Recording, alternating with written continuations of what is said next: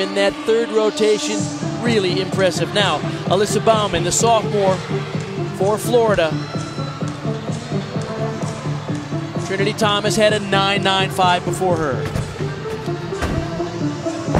Double top, really soft, controlled landing, really absorbed that nicely.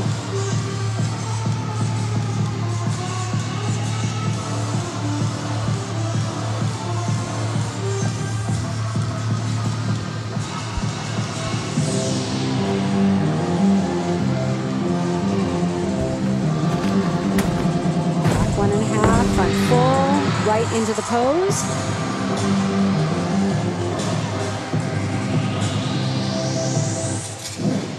It's an important routine here for Florida because the score 9.75 for Reed is the one they want to replace. The two prior routines were 9.925 and 9.95 for Boren and Thomas. Here's what she does as well as anyone in NCAA gymnastics. Those leaps are so perfectly performed.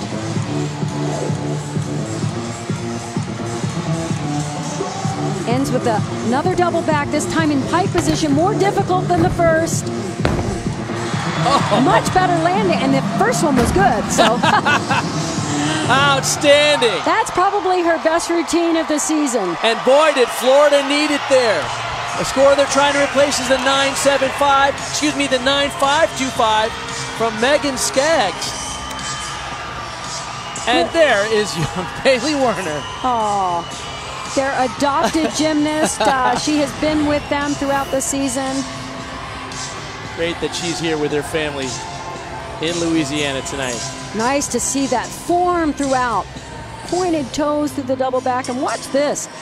Great amplitude. Look how she rises off the floor and hits that picture perfectly in the air. oh, she wants a 10. Bailey wants